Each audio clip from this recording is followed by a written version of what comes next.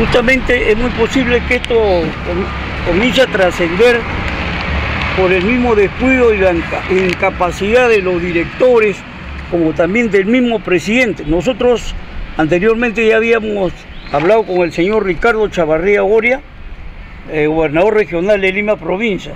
Ahorita le estamos solicitando una audiencia con urgencia a nuestro compañero del SER, aquí justamente estoy con el secretario de organización, eh, manifestándole el desabastecimiento de medicamentos e insumos de los 320 establecimientos de nuestra región como mascarilla de prevención, el déficit de profesionales de la salud para la atención de la población, también la adquisición de equipos biomédicos de última generación para los hospitales de referencia, incubadora, neonatal, equipo de tomografías y otros, porque no hay.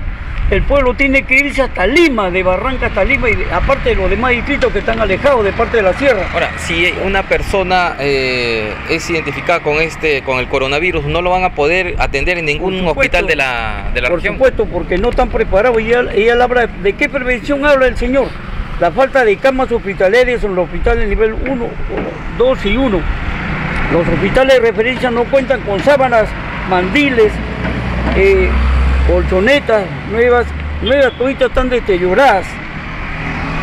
No se cuenta con los insumos de limpieza en los mosocomes de primer nivel de atención, así como los hospitales de referencia.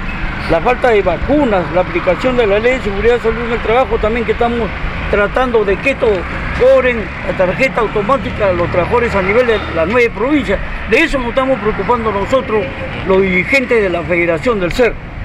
Eh, también, eh, ¿cuál es la medida disciplinaria por omisión de funciones por el pago de la deuda social? ¿Cómo es posible que estos señores, el mismo señor Solano Samanamut, él, antes que se venga acá la direz, el premio que le ha dado su, el señor Chavarría, cuando ellos han devuelto al Tesoro Público cerca de 5 millones de soles. ¿ah? Mire. El hospital de Barranca. Por supuesto, eh, cuando él ha sido director.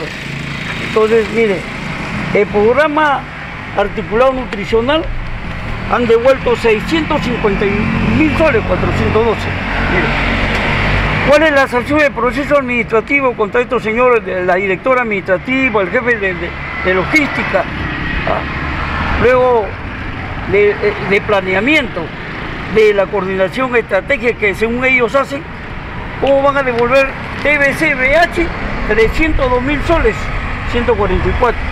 Materno neonatal, 672 mil soles. ¿Por qué no compran incubadoras para los niños? ¿Ah? tantas cosas que pueden comprar.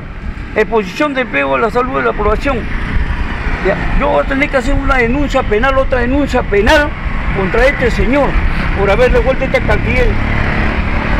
Por eso que solicitamos al gobierno su salida de inmediata a este sinvergüenza por su incapacidad de gestión administrativa y pedir a la salud de la población a nivel de todo lo que es el norte chico, todas las nueve provincias.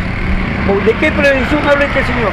Aquí ustedes pueden ver la cantidad de dinero que ha devuelto y no ha pagado el derecho del acero 37 que ha salido el 12-14 de diciembre. Tampoco no ha pagado toda la deuda social, los 25 años de los trabajadores que han cumplido.